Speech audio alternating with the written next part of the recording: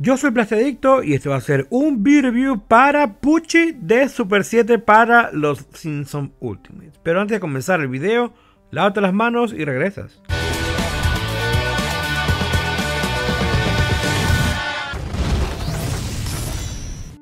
Y ya con la mano limpia, momento ideal para que te suscribas al canal, le des me gusta al video si deseas ver más contenido como este. Toca el turno para Pucci, nada más y nada menos que el perro más cool de todos los Simpsons. Y es que es muy curioso que haya incluido esta figura para la primera wave. Aunque no dejo de reírme cada vez que pienso que existe una figura de Pucci articulada. Honestamente, para esta línea de Super 7 Ultimate de los Simpsons, cualquier personaje creo que va a ser muy interesante. Y como lo vemos acá, está bastante, bastante cool. Es un empaque, de hecho, también muy bonito, con unas nubes ahí, de hecho, más realistas de lo que se ve en la serie. Sacamos el sleeve cover y vemos un blister como los últimos, bastante grande. Nos dice abajo que es de los Simpsons, el nombre Pucci. Y arriba tenemos una ventana con nuestra figura exhibida y logramos ver algunos accesorios. El empaque es del mismo tamaño que los demás, así que vamos a encontrar quizás mucho espacio vacío porque, bueno, por detrás tenemos otra ilustración de Pucci hecha por McGroin y tenemos la información del capítulo donde apareció y la fecha en que se emitió originalmente. Ya con la figura allí, el blister vemos que es bastante interesante. Y detrás del blister vemos ahí eh, una ilustración con todos los personajes de Simpsons que pudiéramos tener, eh, cruzando los dedos. La mayoría son personajes muy rellenos, pero están cool.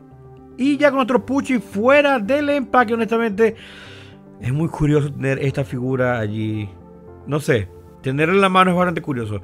Nunca pensé que iba a haber esta figura tan temprano en esta línea, pues aquí lo han hecho. Y muy bien porque la gorrita es de goma y todo lo demás es bastante rígido. Bueno, la oreja también es de goma. Pero como ven allí es el look que tiene la chaqueta de cuero. O sea, el mejor de todo con su koala o fanny pack o como quieran llamarlo, riñonera, como lo llaman en su país. Sus eh, gomas tipo Converse altas, Converse de las de, que usaban en los 90 que eran como más modernas. No se usaban, pero salieron. Y la verdad que tiene un look muy pandillero, por así llamarlo. Si recuerdan, este personaje em, era uno que intentaron incluir forzadamente en Tommy Daly. La voz la hacía Homero y un personaje que tenía puros clichés de lo que era estar en onda eh, a comienzos de los 90.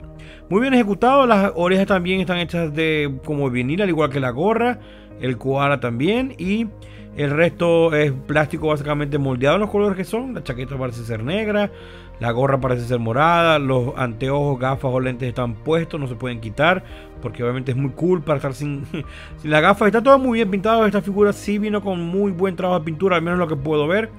Y eh, me gusta cómo se la chaqueta, de hecho. Entonces está eh, bien aprobado y por lo menos la que me tocó a mí está bastante bien. Y el esculpido está muy chévere también. Vamos con la articulación y es que la cabeza se mueve bastante hacia adelante, como podemos ver allí. Ligeramente o bien hacia atrás. Tenemos también inclinación lateral hacia ambos lados y buen movimiento circular porque el cuello y la cabeza es uno solo. El brazo rota completamente, sí, un poco duro. Abre más de 90, casi 90 en el codo. Además tiene rotación allí. Las manos dan vueltecita y todos tienen bisagra hacia adentro y afuera.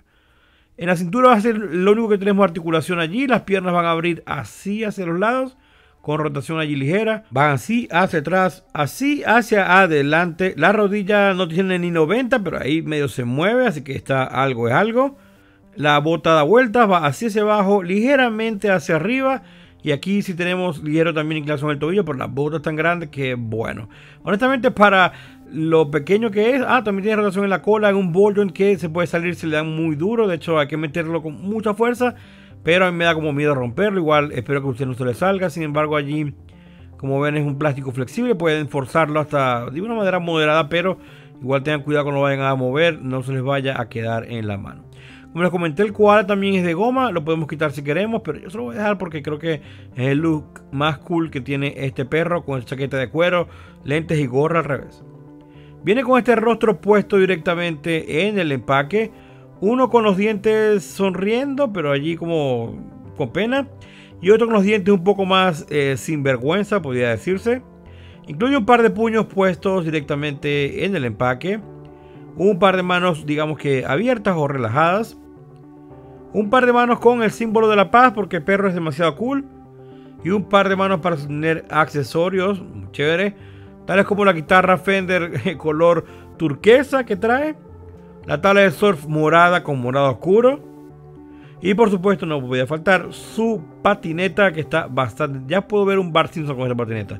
En fin, eh, vino bien equipado este Pucci porque todos los accesorios son cool. De hecho les comentaba que se podía quitarse si desean. Eso lo voy a dejar porque, no sé, creo que mientras más accesorios tenga se ve más cool.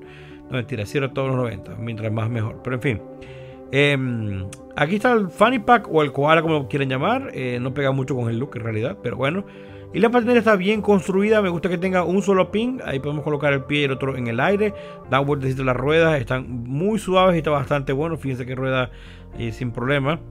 La tabla de surf sí viene sin pines. Esto es básicamente para eh, pararse al lado de ella y verse cool. Porque es un perro que no surfea. Tiene chaqueta de cuero como pueden ver. Y es color morado. Es muy suavecita. Está bastante bien pintada. Así que vamos a dejarla por aquí parada. En cuanto a la guitarra eléctrica, es uno de los accesorios que más me cuesta poner en la mano. Creo que no lo sujeta bastante bien. Está muy linda y siento que la puedo romper el mástil si la fuerzo mucho. Pero como ven está bastante bien pintada y tiene mucha estética de los Simpsons. Así que puede servir para otro personaje.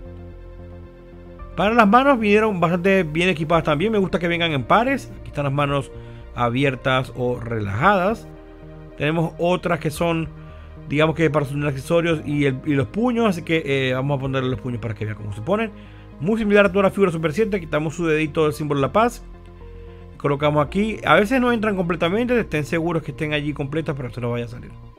La patineta, vamos a ponérsela para que vean cómo entra aquí. Okay, aquí los orificios que tienen el pie.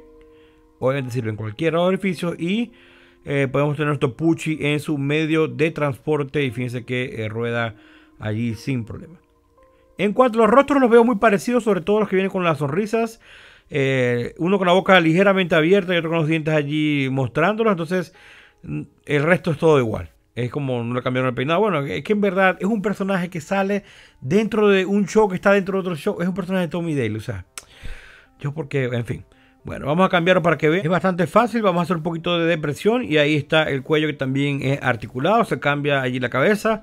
Vamos a darle, voy a poner esto aquí para que vean. Ahí se mueve el cuello. Y podemos poner nuestro nuevo rostro allí eh, sonriendo. Un poco más expresivo y está como chévere. Vamos a pararlo bien. Se para bien, eso, eso sí. Entonces, bueno, ahí está con sus cositas. Aquí está comparado con un par de Hasbro. Aquí es la Sangre Flores a la derecha el Capitán América. 20 aniversario de Marvel como ven, Pucci es más pequeño. Luego con el Unión Gómez y el Jack o el Crazy Jack de Bob Toy para que vean cómo se ve con figuras de ropita de tela. La verdad es que no pega mucho. Al igual que con otra figura Super 7, aquí está con Leono y esto es He-Man del Club Grayskull o Ultimates, como quieren llamar.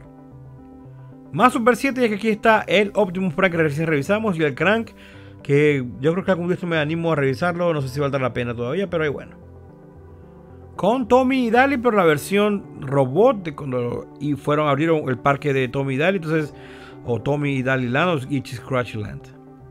Y por supuesto con Homero que ya lo revisamos en el canal y Mo que eh, va a ser el próximo, no, no va a ser el próximo review. El próximo review va a ser Tommy Dale o Ichi Scratchy o como quieran llamarlo en su país.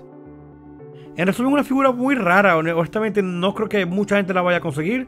Le recomendaría conseguir en BigBadToyStore.com. Les voy a dar el enlace en la descripción, pero para serles honesto, esta figura seguro va a estar en descuento próximamente en Amazon, próximamente quizás a finales de año o antes. Entonces, si quieren completar el line-up de la primera eh, wave o más adelante quieren conseguirlo, pues búsquenlo en Amazon en descuento. Muchos Super 7 terminan allí y esta creo que no va a ser la excepción. De esta wave es la más, digamos que la menos popular. Sigue siendo una figura bastante buena y muy curiosa adición a una colección o a cualquier colección de los Simpsons, pues ahí está. En la Wave 1 son estas figuras que están acá. Ya están disponibles, ya están en muchas tiendas, incluyendo Big Bad Toy Store y en cualquiera otra que quieran eh, conseguir de confianza. La Wave 2 está poderoso y es Doffman, Krusty clásico, Han Scorpio y el Barto. Entonces ahí está eso muy interesante. Esta Wave creo que es a finales de año. Ya está pedida obviamente. Muy interesante. Y por supuesto la Wave 3 que saldrá un después, está conformada por Mr. Brown clásico, Ralph clásico, Rafa Gorgori y el par de Alien clásico que también incluye a Maggie, así que está muy chévere. Me divertí más de lo que pensaba con esta figura, no puedo decir que es una mala figura, es una muy buena figura para el personaje, lo que me pareció rara fue la selección del personaje, insisto. Igual esto me da mucha confianza a que tienen un plan para sacar bastantes personajes, podremos escoger más adelante la versión que queramos del personaje que queramos, ya sea principal o de reparto o yo que sé. Pero en fin, es una figura que me sorprendió bastante lo bien que se mueve para lo pequeña que es, de hecho los pocos cortes que tiene porque la figura estéticamente está bastante bien. Y por supuesto nuevamente creo que acertaron mucho mucho los accesorios que incluyeron las manos que les colocaron y todo lo que utilizaron para mejorar esta figura porque honestamente es lo que hace divertido este personaje en esta versión. Obviamente todo lo que viene que lo podemos usar también con otras figuras Muchas gracias a todos por llegar hasta acá. Por favor, den like al video, compartan, suscríbanse. Nuevamente, como siempre, gracias a los miembros del canal quienes apoyan la creación del contenido. Espero que estén disfrutando de los videos que les estoy dando de manera exclusiva. Y también gracias a los que llegan al final de los videos. Siempre ese apoyo es muy bien recibido para que YouTube se dé cuenta que estamos haciendo videos que le interesan a cierta cantidad de gente. Bueno, todos llegan hasta el final. Pero es lo que ellos buscan, entonces muchas gracias por el apoyo, la verdad es que lo valoro muchísimo y siempre les hago una pregunta, aunque últimamente se me ha olvidado, entonces, ¿qué personaje de los Simpsons les gustaría ver en Ultimate para la Wave 4?